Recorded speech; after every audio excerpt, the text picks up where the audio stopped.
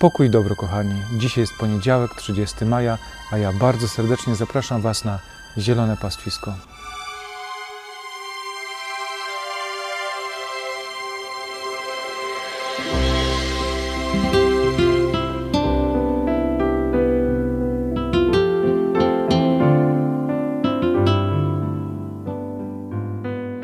Kochani, są różne rodzaje samotności.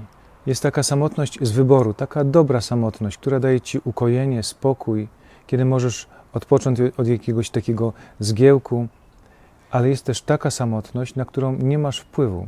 Samotność, której nie wybierasz, ale ona po prostu przychodzi. Może być taka sytuacja, że jesteś samotny wśród ludzi. Na przykład jesteś samotny w swojej rodzinie.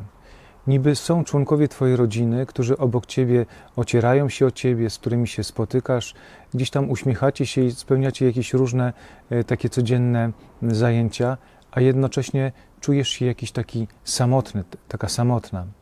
Może się zdarzyć, że gdzieś tam jesteś w zakonie, e, gdzieś może wśród sióstr, wśród braci, ale okazuje się, że gdzieś tam brakuje ci takiego kogoś, kto będzie twoim prawdziwym bratem, prawdziwą siostrą. Pamiętam, kochani, taką wypowiedź pewnego piosenkarza, muzyka, e, Padiego Kellego, czyli Patryka Kellego, e, który należał do tej formacji, którą nazywamy Kelly Family. On opowiadał, że był taki moment, kiedy oni byli na topie, byli rozchwytywani, mnóstwo różnych koncertów, wywiadów telewizyjnych, radiowych, ale Patryk mówi, że on czuł się wewnętrznie po prostu wyjałowionym czuł się ogromnie samotny. Niby wśród ludzi, którzy go uwielbiali, którzy go kochali, marzyli o tym, żeby zrobić z nim zdjęcie, a on czuł się niesamowicie pusty wewnątrz.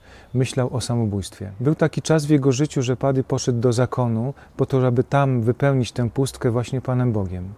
Ten czas był mu bardzo potrzebny. Nie został zakonnikiem, nie został księdzem, ale przez jakiś czas chodził nawet w habicie. Był właśnie uczestnicząc w tej formacji zakonnej, po to, żeby zapełnić tę pustkę, tę samotność, która gdzieś tam rozrywała jego serce. Ten czas był mu bardzo potrzebny.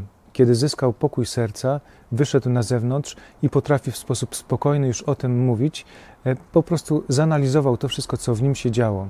Znalazł spokój w Panu Bogu. Kiedy spotkasz w Twoim życiu jakiegoś takiego przypadkowego przechodnia, albo na przykład Twojego sąsiada, który Ci strasznie naubliża, to nie boli Cię to aż tak bardzo, jak wtedy, kiedy zrobi to osoba, którą kochasz, którą szanujesz, osoba najbliższa.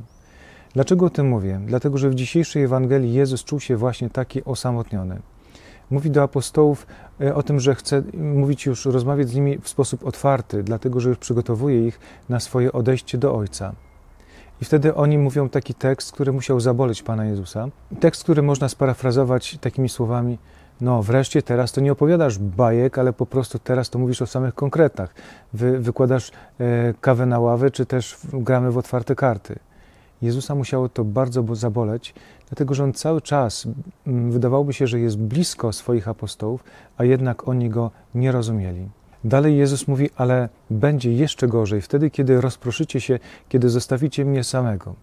Jezus mówi, ale ja nie będę sam, dlatego że człowiek, który zaufał Panu Bogu, nigdy nie jest sam. Ale mam dla Ciebie dzisiaj dobrą nowinę. Nawet wtedy, kiedy będziesz się czuła osamotniona, niezrozumiana, kiedy będziesz czuł się, jakby wszyscy odstąpili od Ciebie, to jednak pamiętaj, że nie jesteś sam, że jest ktoś, kto zawsze Cię zrozumie.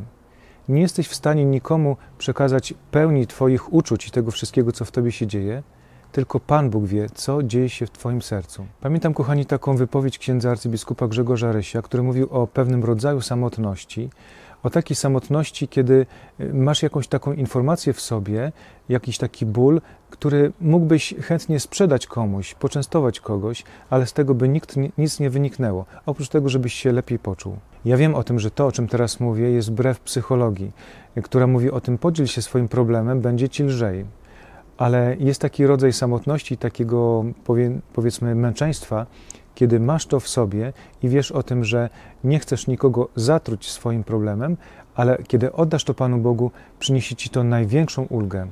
Potwierdzam to. Bywały nieraz w moim życiu takie momenty, w których wiedziałem o tym, że największe ukojenie daje mi kontakt ze Słowem Bożym, kontakt z Panem Bogiem. Wiedziałem o tym, że nawet jeżeli powiem moim przyjaciołom, to oni będą po prostu rozżaleni z tego powodu, że, że to czy tamto mnie spotyka, ale wiem o tym, że kiedy oddaję to Panu Bogu, to jest najlepsza rzecz, jaką mogę zrobić na świecie. Dlatego, kochani, chcę Wam przekazać teraz Boże błogosławieństwo, abyście pamiętali, że nigdy nie jesteście sami. Pan z Wami.